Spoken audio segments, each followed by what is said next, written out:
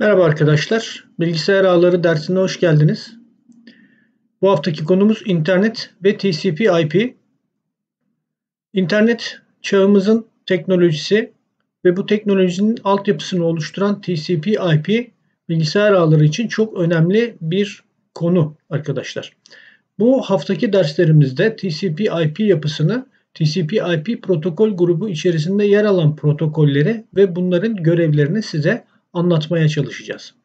Bu dersimizde internet nedir, intranet nedir, extranet nedir, TCP/IP nedir, TCP/IP'nin bilgisayar ağları için ne önemi vardır, TCP/IP'nin nasıl bir yapısı vardır bunları anlatmaya çalışacağız. TCP/IP şu anda bilgisayar ağlarının kullandığı ortak dildir diyebiliriz arkadaşlar.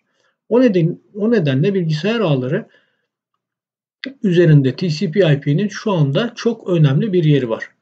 Biz de bu dersimizde TCP/IP nasıl bir yapıya sahip, ne gibi bileşenleri var, nasıl bir yapısı var bunları size anlatmaya çalışacağım. TCP/IP ve internet. TCP/IP e, nedir? İnternet nedir? İsterseniz bununla başlayalım. İnternet dünya çapında milyonlarca bilgisayarın oluşturduğu e, en geniş geniş alan ağıdır diyebiliriz arkadaşlar tüm dünya çapında milyonlarca bilgisayarın içerisinde bulunduğu çok e, büyük bir sahayı alanı kapsayan ve e, kaç sistemin içerisinde bulunduğunun dahi tespit edilemediği şu anda çok geniş bir bilgisayar ağıdır arkadaşlar internet dediğimiz şey. İnternet üzerindeki tüm bilgisayarlar kendi içerisinde LAN oluşturduğu gibi çeşitli WAN servisleriyle de birbirlerine bağlıdırlar. Yani ülkelerin kendi içlerinde bir sürü e, LAN sistemleri kendi içlerinde haberleşmeye devam ederken bu LAN sistemleri WAN sistemler aracılığıyla da birbirlerine bağlıdırlar. Yani her LAN kendi içerisinde haberleşmeye devam ederken bir WAN sistem üzerinden de birbirleriyle de haberleşmeye devam edebilirler arkadaşlar. İnternet üzerindeki tüm bilgisayarlar adresleme ve veri alışverişini TCP/IP protokol kümesiyle gerçekleştirirler. TCP/IP için protokol kümesi diyoruz ya da protokol grubu diyoruz. Çünkü TCP/IP tek bir protokol değil arkadaşlar. TCP/IP protokol kümesidir. İçerisinde birçok protokol barındırır. Ee, aynı OSI'de olduğu gibi katmanlı bir yapıya sahiptir ki zaten OSI modeli üzerine yapılandırılmış bir yapısı vardır. Ee, ve her katmanında farklı farklı protokoller ile farklı görevleri yerine getiren bir protokol grubu, protokol ailesidir diyebiliriz arkadaşlar. Evet, internet nedir? Tüm dünya çapında TCP/IP protokolünü kullanarak birçok bilgisayarın birbirleriyle bağlı olduğu bilgisayar veya bilgisayar ağlarının meydana getirdiği sürekli büyüyen, gelişen iletişim ağıdır diyebiliriz arkadaşlar. Proto, TCP/IP protokol e, altyapısını kullanır haberleşme için. E, milyonlarca farklı bilgisayar sistemi e, sistem içerisinde dahildir, internet içerisinde dahildir. E, her gün e, birçoğu sisteme dahil olur, birçoğu sistemden ayrılır arkadaşlar. Çok e, yüksek bir veri trafiğine sahip e, en geniş bilgisayar ağıdır diyebiliriz internet için. Oluşturulan tüm ağ yapılarının LAN, WAN, MAN, PAN, SAN fark etmez bağlanabildiği ortak bir ağdır. İnternet ağı dediğimiz ağ tüm bu ağların geniş alan ağlarının, lokal alan ağlarının, metropolitan alan ağlarının, kişisel alan ağlarının e, içerisine dahil olabildiği tüm dünyadaki bilgisayarların bilgisayara e, internete bağlanma donanımsal altyapısına sahip tüm sistemlerin içerisine dahil olabildiği genel amaçlı bir bilgisayar ağı olduğunu söyleyebiliriz internet için. Bu ağda tüm işlemler ve bağlantılar TCP/IP protokol kümesine göre çalışır. Bu ağ üzerinde aynı protokolü kullanarak çok farklı cihazlar, kameralar, bilgisayarlar, cep telefonları, tabletler sisteme dahil olabilir ve bu sistemler farklı farklı işletim sistemleri Unix, Windows, Linux, e, macOS gibi e, Android gibi farklı farklı işletim sistemlerine sahip olabilirler. TCP/IP tüm bu sistemlerin bir arada çalışmasına e, ve e, birbirleriyle haberleşebilmesi, haberleşebilmesine imkan sağlar arkadaşlar. İlk olarak Amerikan ordusu tarafından ordu içerisindeki haberleşmeyi sağlamak amacıyla 1960'lı yıllarda kurulmuş e, bir e, sistemdir arkadaşlar. Günümüzde herkese açık e, genel amaçlı kullanılan bir bilgisayar ağ sistemidir. Sonuç olarak internet insanların bilgiye erişim, paylaşım ve bilgiyi kullanma amacıyla kullanmış olduğu en geniş dünya üzerinde e, tüm e, ülkeleri kapsayan genel amaçlı bir e, ağ olduğunu söyleyebiliriz.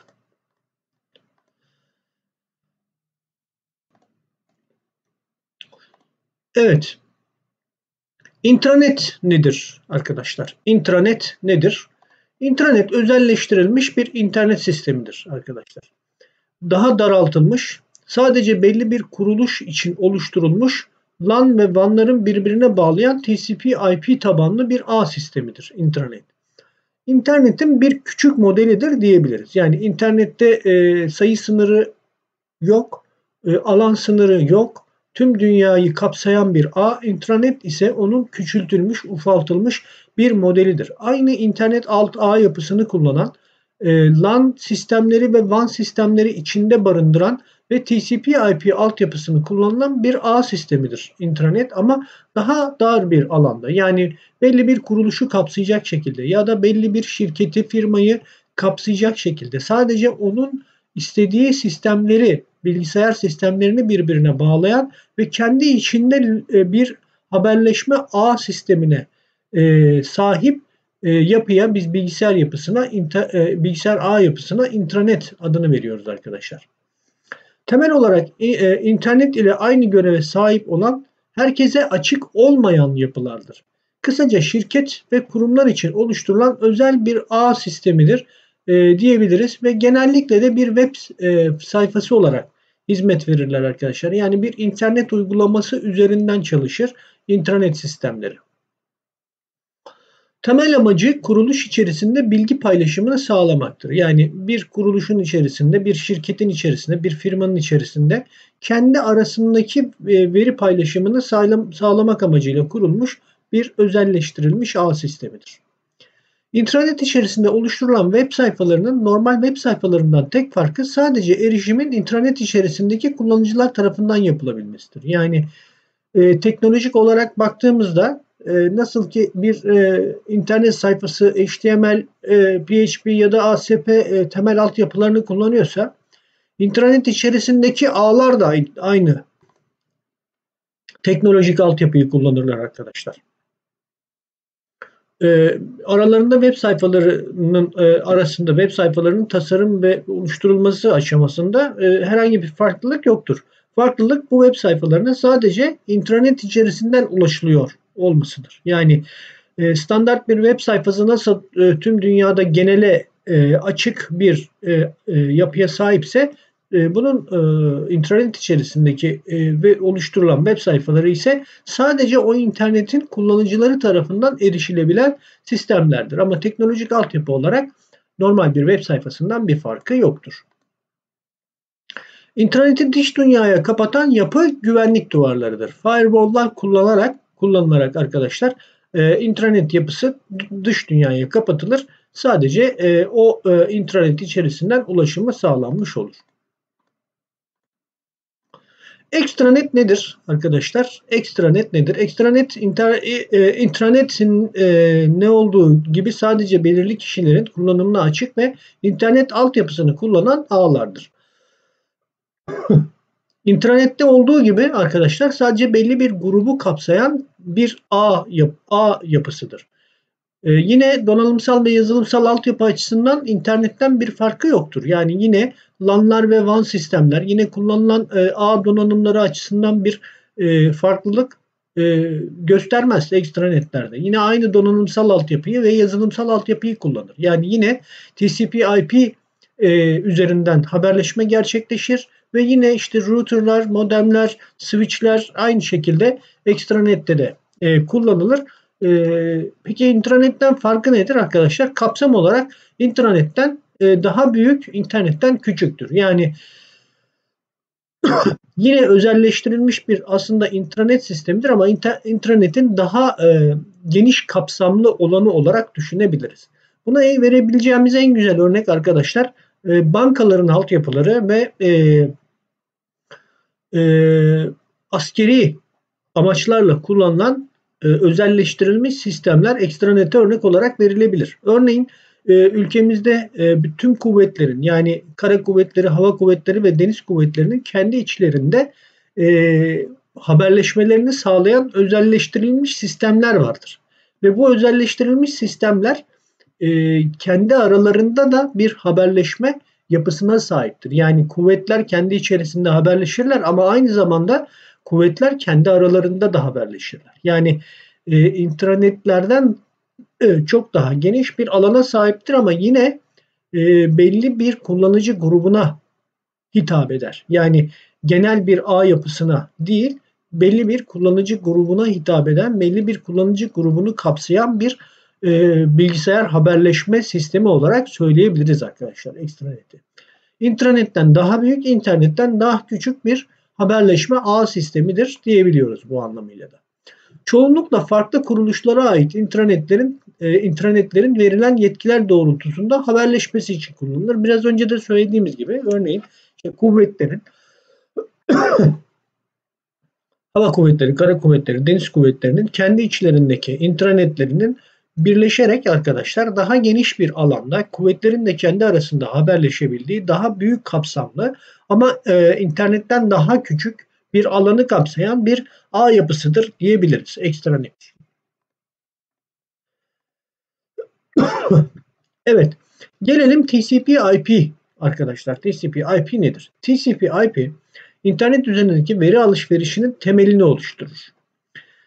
Daha doğrusu herhangi bir yerde bir bilgisayar ağı söz konusuysa iki bilgisayar arasında en az iki bilgisayar arasında bir veri alışverişinden söz ediyorsak orada TCP/IP'nin varlığından söz edebiliriz arkadaşlar. Yani birden fazla bilgisayar üzerinde bir veri alışverişi yapılacaksa bu veri alışverişi TCP/IP protokol grubu dediğimiz yazılımlardan arkadaşlar sorumludur. Bu yazılımlar bilgisayar ağları arasındaki veri transferinin yazılımsal işleyişini düzenleyen kurallar grubudur. Protokol dediğimiz şey arkadaşlar kavramsal olarak protokole baktığımızda kurallar bütünü olarak e, tabir edebiliriz. Kurallar bütünü.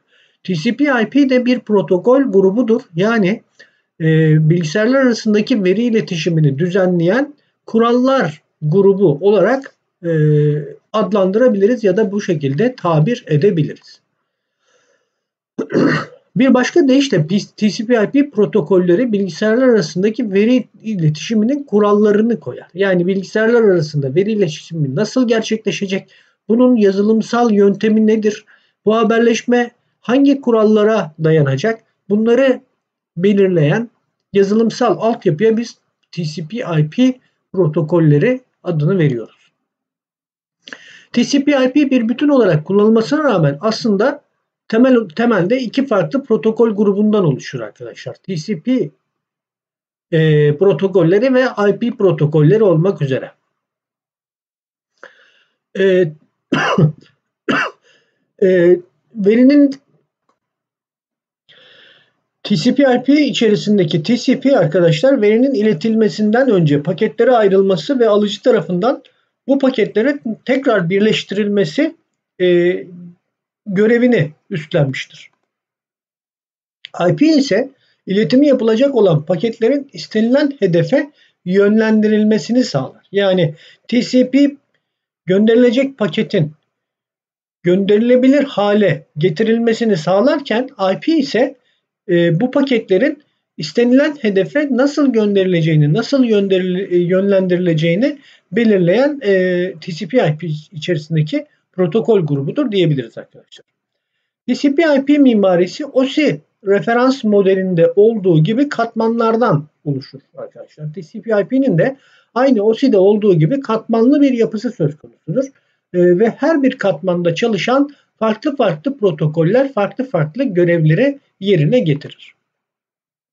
OSI referans modelinde 7 katman bulunurken TCP, e, TCP/IP mimarisinde buna paralel olarak e, 4 katman bulunur arkadaşlar. Belli katman gruplarını e, TCP/IP tek bir katman grubu altında birleştirmiştir. Bunu da e, e, ilerleyen e, konular içerisinde göreceğiz.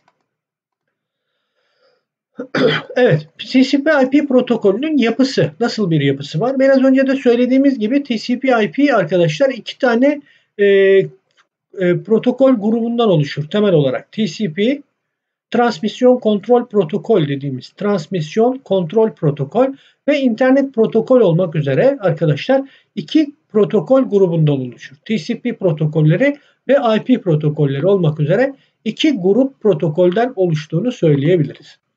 TCP yani transmisyon kontrol protokol paketlerin iletilmesinden sorumludur. Daha doğrusu bir paketin iletilebilir hale gelmesi için gerekli işlem basamakları arkadaşlar transmisyon kontrol protokolünün görevleri arasındadır. E, TCP paketi gönderilebilecek hale getirir. Veriyi e, bir gönderilebilir paket yapısına dönüştürür. IP ise internet protokol dediğimiz protokol ise bu paketi yönlendirir. Yani bu paket hangi yoldan gidecek? E, paketin yerine ulaşması için e, gerekli olan yolların oluşturulması gibi görevler e, internet protokol içerisindeki protokollerin üstlenmiş olduğu görevlerdir diyebiliriz. Evet. Yapısal olarak bakacak olursak arkadaşlar o e, OSI ve TCP/IP e, karşılaştırmalı olarak bakacak olursak o e, TCP/IP içerisinde uygulama katmanı, application layer, taşıma katmanı, transport layer, ağ katmanı, network layer, e, internet layer ya da internet work layer olarak adlandırılıyor ağ katmanı. Genellikle internet layer olarak biz tanımlıyoruz arkadaşlar. E, söylerken internet layer olarak bahsedeceğiz. E, ve fiziksel katmandan oluşur.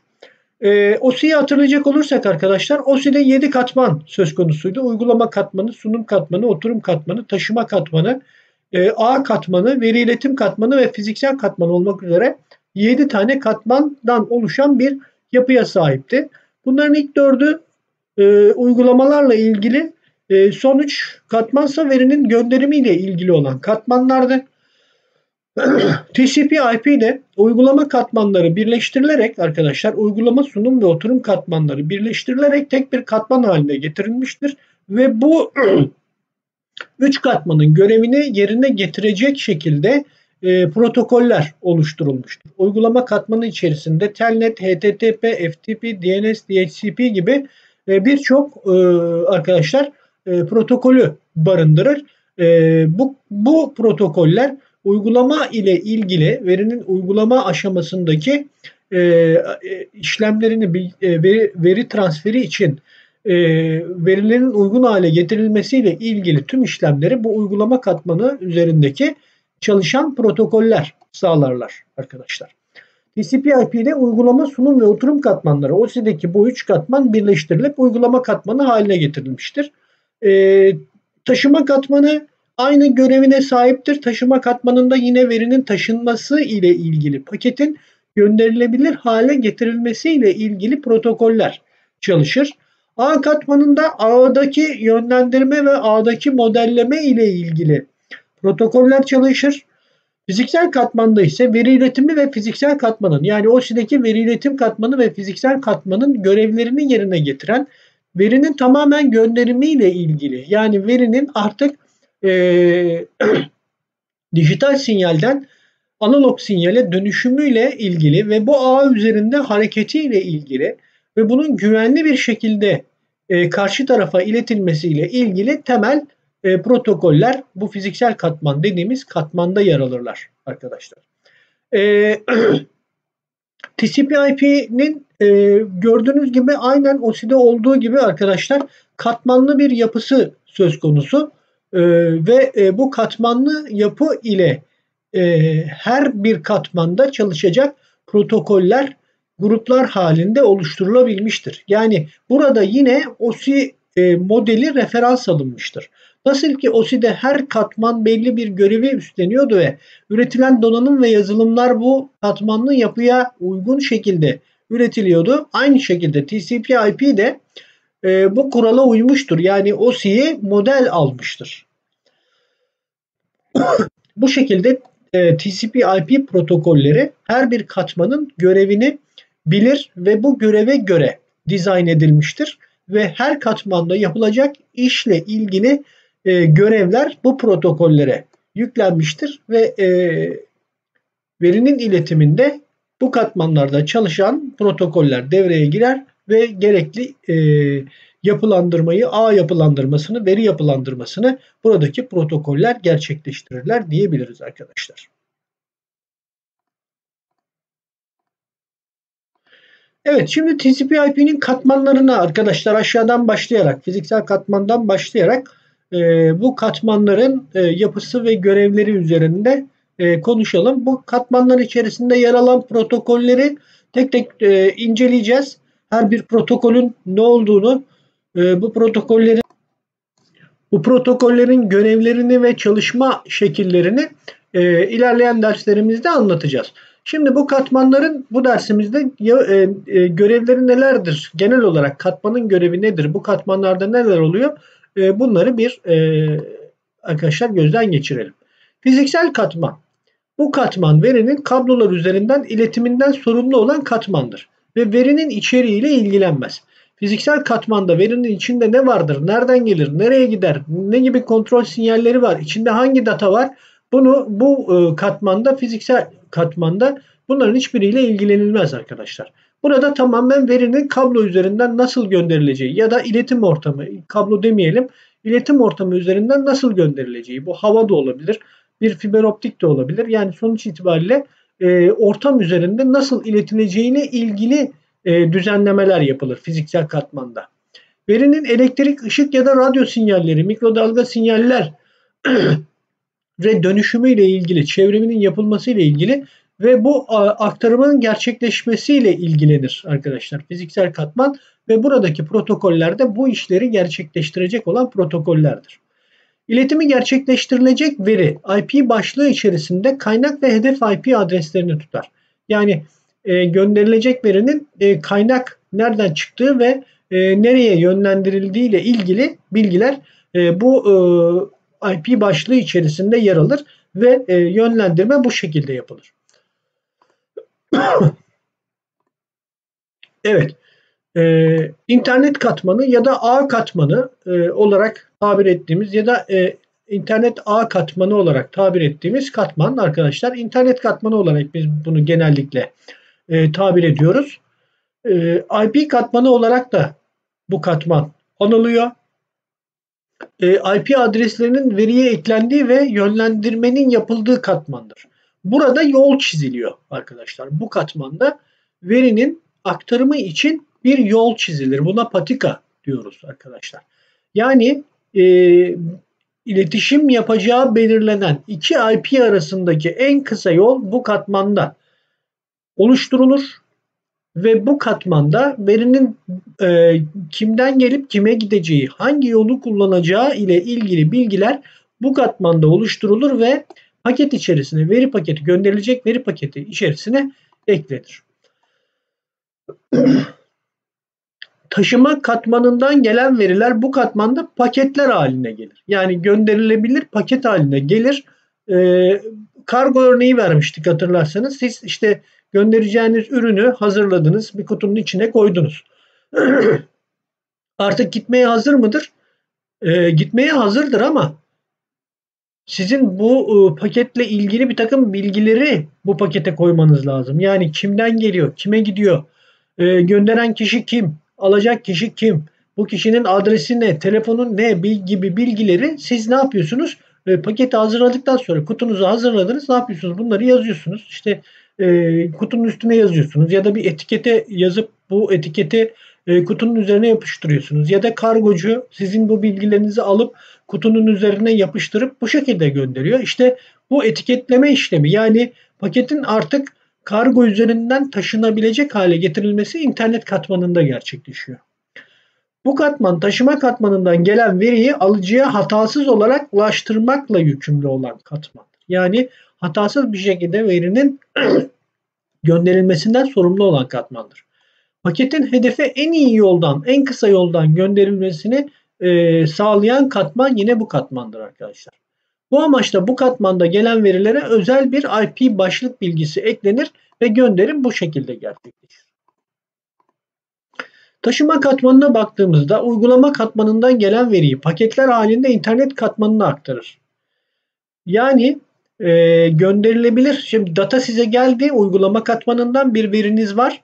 E, ama bu veri böyle e, ham haliyle yani sadece veri haliyle gönderilemez. Buna birçok paket eklenecek ki bunu ilerleyen derslerimizde göreceğiz bu paketlerin yapısını. E, işte bu veri paketi haline getiren yani gönderilebilecek bir paket haline getiren e, katman taşıma katmanıdır. Eğer veri tek seferde gönderilemeyecek kadar büyükse segmentlere, parçalara ayıran katman yine bu katmandır. Yani verinin A üzerinde taşınabilecek hale getirilmesini sağlayan katmandır taşıma katmanı. İnternet katmanından aldığı veriyi de birleştirerek üst uygulama katmanına aktarır. Yani e, aşağıdan veri size geldiğinde gönderirken e, bunları yapıyor. Alırken de internet katmanından gelen verileri parça parça gelen verileri birleştirip okunabilir bir veri haline getirip uygulama katmanına yani bir üst katmana servis sağlayan katmandır yine taşıma katmanı. servis kalitesi QoS dediğimiz arkadaşlar Quality of e, Services dediğimiz servis kalitesi, güvenli veri aktarımı, akış kontrolü, hata kontrolü gibi işlemlerin yapıldığı katman bu yine bu katmandır. Taşıma katmanıdır arkadaşlar. Uygulama katmanına geldiğimizde kullanıcıya en yakın olan katman bu katmandır ve e, kullanıcı tarafından çalıştırılan tüm uygulamalar bu katmanda yer alır. Yani veri haberleşmesi amacıyla kullandığınız tüm yazılımların e, çalıştığı katman uygulama katmanıdır. Ve bu katmanda sizin bu uygulamalarınızla e, uygulamaların ağ içerisindeki ara birimleri ne oluşturan e, protokoller bu katmanda çalışır. Dosya paylaşımı, elektronik posta, veri tabanı yönetimi gibi arkadaşlar işlemlerin hepsi bu katmanda gerçekleştirilir.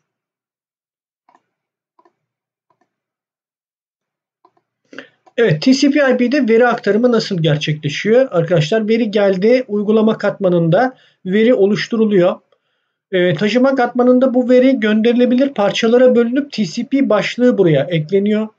A katmanında e, TCP başlığına bir de IP başlığı ekleniyor ki bu nereden gidecek, hangi yolu kullanacak, kim alıyor, kim gönderiyor bunun bilgisi A katmanında koyuluyor. Fiziksel katmanda e, MAC adresleri, CRC e, hata kontrol kodu, CRC dediğimiz arkadaşlar hata kontrol kodu bu paket içerisine ekleniyor ve fiziksel katmana yani e, iletim ortamına yerleştiriliyor. E, bu noktadan sonra artık bu analog sinyal haline dönüşmüştür. Kablo üzerinden ya da havadan arkadaşlar sinyal iletilir ve karşı tarafta bu paketler sırasıyla açılarak veriye ulaşılmış olur. Her bir servis kendinden önceki, her bir katman kendinden önceki ya da kendinden sonraki katmana servis verir arkadaşlar. Evet, e, TCP/IP ve OSI arasındaki benzerlik ve farklılıklar nelerdir? Bunları bir gözden geçirelim. Her iki modelde de katmanlı yapı söz konusudur. Her iki modelde de paket anahtarlama e, yöntemi kullanılır. TCP/IP mimarisinde veri iletimi karmaşık bir iş olarak nitelendirilerek e, daha anlaşılır olması için daha basit e, görevlere böler. OSI modeli içinde aynı e, kural geçerlidir ama OSI veri iletimi için her aşamayı farklı bir katmanda tanımlar e, ve kesin bir dille bunları birbirinden ayırmıştır. Bu özellik sayesinde OSI daha verimli bir çalışma olanağı sağlar. OSI referans modelinde her bir katmanın görevi kesin olarak belirlendiği için yeni bir protokol geliştirmek zordur. TCP/IP'de ise katmanlar kesin çizgilerle birbirinden ayrılmazlar. Ee, bu katmanların görevleri arasında bir geçişkenlik söz konusudur. E, bu nedenle TCP/IP'de e, protokol oluşturmak daha kolaydır. TCP/IP'de kullanılan port kavramı OSI'de bulunmamaktadır. E, OSI'de böyle bir port yapısı söz konusu değil. OSI sonuç itibariyle bir model arkadaşlar. OSI referans modeli ve TCP/IP mimarisinin her ikisinde de taşıma katmanında veri segmentlere bölünür. Taşıma katmanında segmentlere bölünen verinin hangi portu kullanacağına dair header eklenir. İkisinde de aynı göreve sahiptir arkadaşlar. OSI'de de TCP/IP'de de. OSI referans modelinin e, A katmanı e, ve, e, ve TCP modelinin internet katmanında segmentler paketlere dönüştürülür ve paket üzerinde kaynak ve hedef adresleri vardır. OSI referans modelinin veri bağlantı ve fiziksel katmanları TCP/IP'de birleştirilerek fiziksel katman adını almıştır.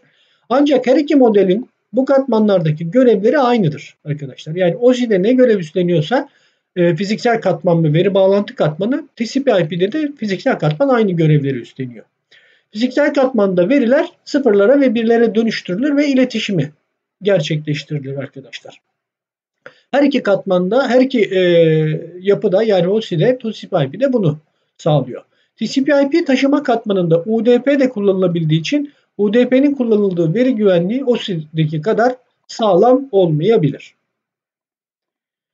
Evet arkadaşlar e, dersimizin e, sonuna geldik bu şekilde. Neler anlattık? E, bunları bir gözden geçirelim. İnternet, intranet, ekstranet nedir? E, bilgisayar ağları için bunlar ne anlam ifade ediyor? Bunları size anlatmaya çalıştım. TCP/IP e, protokolü nedir? E, neden önemlidir? Ne amaçla kullanılır? Bunlardan bahsettik. TCP/IP'nin protokol grubunun nasıl bir yapısı olduğu, e, bu protokollerin özelliklerinin neler olduğu, katmanlı yapı ne demek, bu katmanlarda neler oluyor bunları e, bu dersimizde anlatmaya çalıştım. TCP/IP içerisindeki protokoller hangileridir? Bu protokoller ne amaçla kullanılır ve protokoller nasıl çalışılır? Bu dersimizde kısaca bunları anlatmaya çalıştık. E, daha detaylı bilgi almak için verdiğimiz bu kaynakları kullanabilirsiniz arkadaşlar. Böylece dersimizin sonuna gelmiş olduk. E, konuyla ilgili bize sormak istediğiniz sorularınızı forum üzerinden bize yöneltebilirsiniz arkadaşlar. Hepinize iyi çalışmalar diliyorum.